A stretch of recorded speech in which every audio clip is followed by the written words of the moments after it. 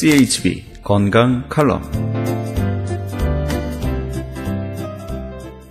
안녕하세요. 건강 칼럼 32번째 시간입니다. 힘이 빠진 소도 낙지를 먹으면 벌떡 일어난다는 말이 있는데 아마도 낙지가 스태미너에 좋은 음식인가 봅니다.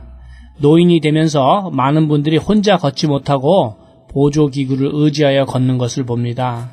또한 혼자 걸을 수 있는 분들도 하체에 힘이 없다고들 합니다. 이런 분들은 기력이 부족한 것인데 10중 8구는 혈액순환이 잘 되지 않아서 다리가 저릴 것입니다. 기력이란 몸의 혈액순환, 영양상태, 오장육부의 건강상태, 온전한 정신, 활동성 등 사람이 얼마나 활기차게 행동할 수 있는가를 의미합니다. 기력이 약하면 그만큼 몸이 쇠약해져서 활동성이 줄어들고 강하면 몸과 마음이 자연적으로 활동적이 됩니다. 기력을 주, 주관하는 핵심은 바로 신장이라는 장기입니다. 신장의 상태에 따라 기력, 정력, 스태미너, 체력이 좌우됩니다. 여성들에게 많이 나타나는 빈모, 즉 탈모는 기력 저하 탈모인 경우가 많습니다. 몸의 기력 저하로 두피의 영양 공급, 혈액 순환이 잘 되지 않아서 건조하게 되므로 탈모가 일어나는 것입니다. 기력이 약해지면 온몸의 혈액순환이 원활하게 이루어지지 않아서 손과 발이 다른 부분에 비하여 차고 시리게 됩니다.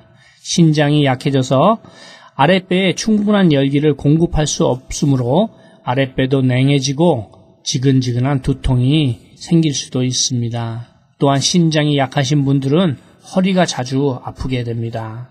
이처럼 신장은 기력 회복에 중요한 장기입니다. 우리 몸에서 피를 만들어주는 비장, 위장, 소장, 췌장이 있고 만들어진 피를 순환시키는 심장, 폐, 대장이 있습니다. 우선 피에 관한 장기들이 건강해지면 신장도 건강해지고 신장이 건강하면 기력을 회복하여 걸음 걷는 일에는 자신이 생기게 됩니다. 그럼 어떻게 하면 피를 주관하는 장기들을 건강하게 만들어서 기력을 회복할 수 있겠습니까? 음식이 가장 중요합니다. 좋은 흙의 식물에서 나온 미네랄을 드시면 장기에 좋은 영양분이 공급되므로 혈액도 만들어지고 마그네슘이라는 미네랄 성분으로 인하여 혈액순환도 윤활하게 됩니다. 또 이로 인하여 신장도 건강하게 되어지면서 기력을 회복하는데 약 3일 정도면 확실한 효과를 보실 수 있습니다. 저는 여기서 기적의 영양제라고 불리는 유태인 특수 영양제 M3를 소개합니다. 무슨 병에 걸렸든지 큰 효과를 줄 수 있는 신비한 기적의 영양제 M3.